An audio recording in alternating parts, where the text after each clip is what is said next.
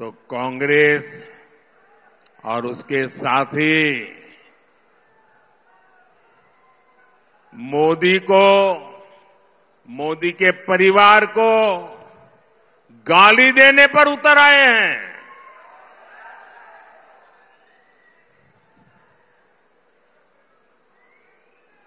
ये गाली क्यों दे रहे हैं पता है?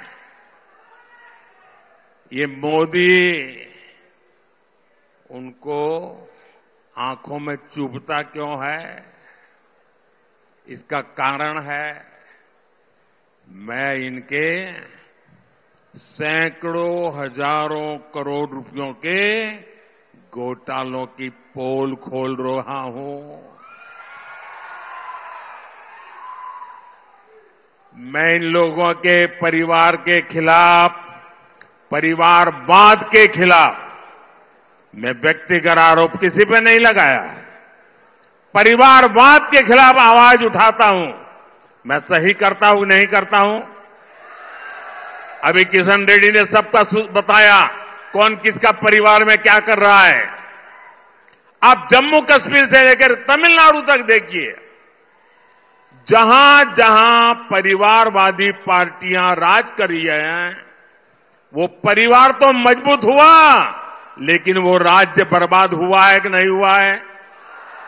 वो परिवार मज़बूत हो गए। वो राज्य मज़बूत नहीं हुआ।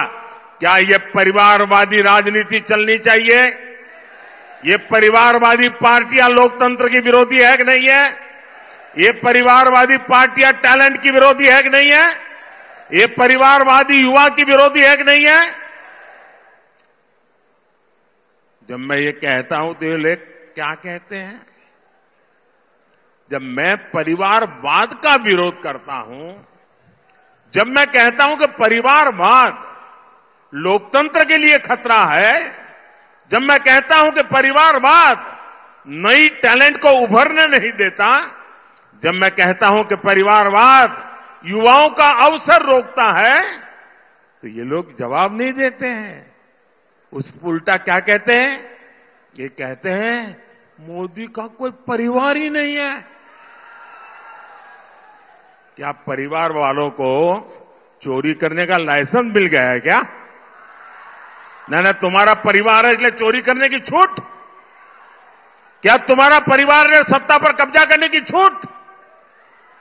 मैंने तो देखे हैं ऐसे मुख्यमंत्री, उनके एक ही परिवार के, निकट के, एक ही कुटुंब के 50-50 लोग उच्च पदों पर उस राज्य में विराज विराजमान हो जाते हैं। क्या ये लोकतंत्र है क्या?